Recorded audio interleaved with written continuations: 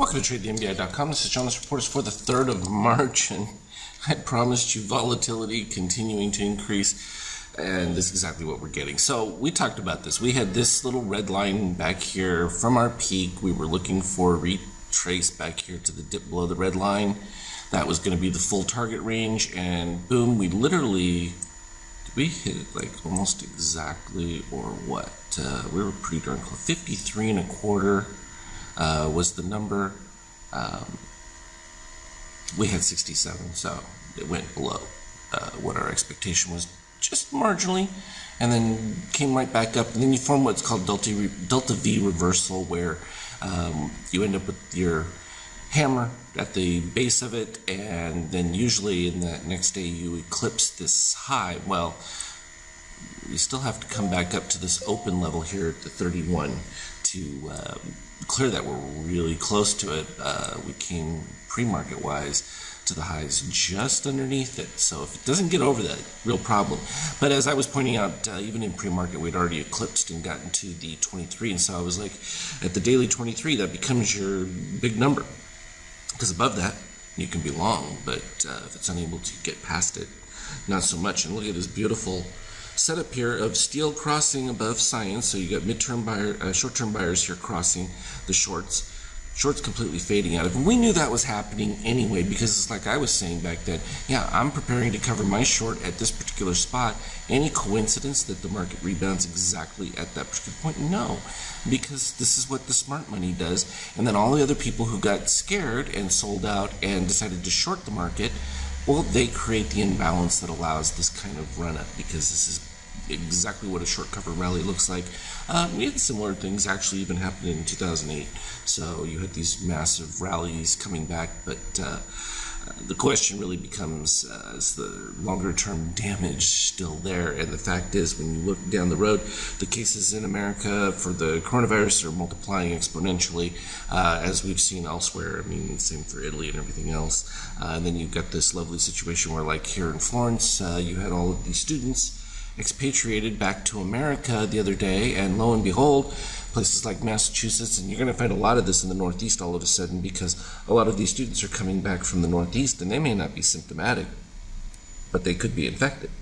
Um, and this is the exact uh, scenario because now you're starting to see people uh, uh, developing those cases, and then you're going to find that outbreaks throughout the Northeast on this because of uh, this kind of situation. And so, not a surprise. And again, I've told you the, the, policy is really not about uh, stopping the illness. It's about slowing it as best they can so that they can both respond with healthcare providers, uh, making sure they have an adequate supply, which they've now had time to ramp up, and then secondarily, um, drug company coming up with the appropriate vaccine for it in enough time, and whoever does that, well, that's tens of billions of dollars uh, in the bank for whoever can come up with it first. So you know they're trying very hard to do that. So for us, it's easy. We've got the 38% right now as the new threshold. So 3061 becomes that uh, new level to be able to you know short from a broader standpoint because then you're looking at a move back down to the uh, 23% and then from there a refill of the dip below the red line, which is what you see those dotted lines. That's representing that. That's what the fill level would be. Now, for our, our standpoints, we usually look for about 80% of uh, those uh, complete fill numbers when uh, generally talking about looking for a full positive retracement. If you've got the stones to be able to withstand it, you can certainly wait for the full 100%. But I found that's the most effective to begin to start. Uh, well, it depends on how large your position is, but I scale out uh, as I go through those. So, but you've seen me do that. Um, and it's important to be able to recognize, you know, where the market is going with these things. We had the full reset of the steel, so we knew there was likely to be some uh, buying capability. And now you got all new fund money coming in right at this particular point. That could be enough to break through the 50% level. So we'll see. But the NQ, okay, so here was our dotted line from this retrace from back before. Uh, it's really right there because uh, it's the low right here. And that's the 8192 from our uh, algo setup of the below the red line And, uh, well, we can see that we did below that on the NASDAQ. And so that was the broader one because the NASDAQ had been running the show for, um, well, the last months uh, because they led the lead up and, of course, uh, the fill. So, bingo on that. Uh, this was all they needed. You know, of course, it's not a shock here. We came to our, you know, a little Maginot line here from an EU standpoint. Um, is there any justification for the EU euro to be rising? No, but the central banks got involved because they knew the critical nature of that line right there. Because uh, below that, uh, it starts to look bleak. But is there any improvement in the EU situation? No, it's getting worse uh, in the EU. Um, but that said, uh, you know, the dollar plunge. Uh, uh, was necessary to help shore up, you know, exports and that for the U.S. And you can't fight the Fed. That's why we say go with it. You know, there's no no point in it. And people say, well, does the Fed actually buying securities? They don't have to. Uh, they could just provide free money to the hedge funds. This is, was the whole point of the blow up that we saw and why they didn't really care about this decline because the whole blow up was just about the Fed providing repo money in the uh, market at the tune of $100 billion a day uh, to loan to hedge funds and that to buy securities because uh, they really want to push. I mean, this is the fight Trump is having with the Fed. He wants to push towards negative rates to really fuel uh, growth in the U.S. economy. The problem is that does create uh, asset bubbles, and this is the reassessment of uh, the expectation that Trump's going to win that war with Powell, and that's why we're seeing this bump uh, now, despite the fact that you could have a severe economic situation, but the multiple of the market has to change. Uh, because if you move towards zero rates, where are you going to get yield? Well, the market's going to be the only place. You're going to look for any place that you can get a dividend or uh, just any appreciation whatsoever. Uh, oil, the rebound, that's just off of the dead cat bounce here. Um, it's probably not going to be long lived uh, simply because the damage here from the shakeout below that negative 13.5, uh, even a pop up here, you still have to pass again that 23%. That becomes that golden marker to look for. Um, you know, it was an interesting question. I thought I'd point this out. You know, uh, sometimes people want to match their charts to mine. Uh, sometimes when you open a TradeStation chart, you're not going to get the uh, exact same date. So what I do is I have a first date for my daily here. It starts 2003. For the tick charts, I'll show you that one in a second. It varies a little bit because sometimes if you don't have the right configuration, you're going to get a variation off of uh, comparison to what my charts are. And um, here from the oil standpoint too, we still don't have a reset of the steel. Yes, we came back down below, moved back up. If it moves above 13.5, again, that's the equivalent of it coming from underneath, which would uh, maintain its bullishness, and that dip below the uh, red line of the orange is critical for giving that uh, a little bit more sustained move. So we'll see if it's able to keep that up. Uh, the gold retracement on DOC spread that was just because it got to the extreme. I mean, when you get uh, red DOC over 13.5, you know that isn't going to last very long. And we had these positive extremes that needed to fill. Um, that was this one right here. And we had a little carry through on it, which happened to go perfectly to the Morgan Fibonacci 50%. And that's kind of where we're fluctuating now. The fact that you're not seeing steel pop up over this negative 13.5, uh, this is still a downside carry for gold. So uh, that could be the liquidation because you know again equities uh, become the you know new place to be.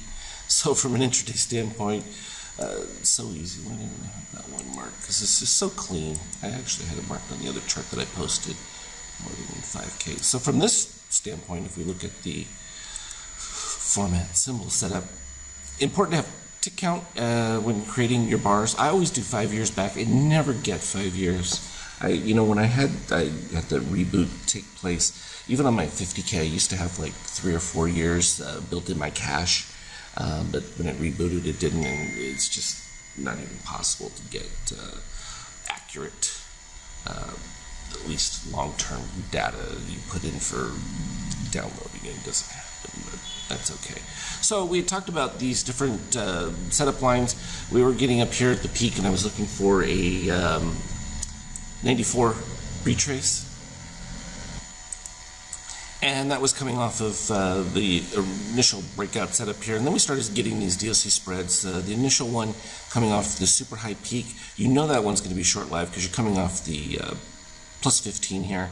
What you're looking for is the matching highs on the lower shakeout, and we know that that tends to give us a little bit more of what we wanted. Uh, it started to break down, didn't couldn't quite break below that 3008 at the beginning, but then we ended up with the another DOC, and you know this is one of those uh, ones where I'm careful with this one because I'm looking at the fact that I've got a steel reset here. Um, I had rising gold, then it starts to plateau, and that's exactly what I'm looking for when this goes across. And the fact that it stayed below the 61% at that particular point, uh, I was feeling good about that and unable to get the steel. You see, this so critical. Steel crossing above uh, at that particular point above uh, cyan would have been the buy because you would have been then expecting the orange to dip below, and green crossover didn't happen. That's what extended the dip right to the target of the 94. And then, sure enough, at that point, you then did get the crossover, which is why we ended up with our P2 pivots uh, because we started to make an improvement. You had a little pivot up here, and then boom. And even if you waited before uh, to the red DOC broke the negative 13.5, would have just been a couple bars over. Um, and often those you get the little bounce and it comes back to it. That's so typical for uh, uh the long setup. And that began um, new buy setup towards the end of the day that just, boom, look at that, just following it cleanly. So we broke below uh, above the next set of algos, and that's when we started bouncing between them.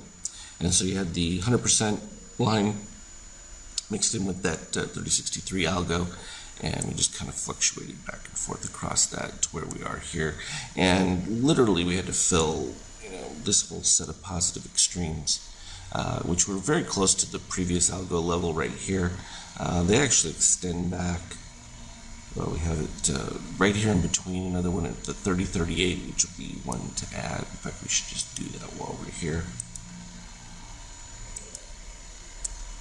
Color it correctly. And just want to find the low of that corrected bar. There it goes. Now, if you want to do that precisely, you can click snap mode, and then if you just touch the low, so you just click it. The, only problem with that is you have to be careful that uh, later on you move it because every time you move a chart or the mouse or anything else, um, it'll it'll go to snap mode.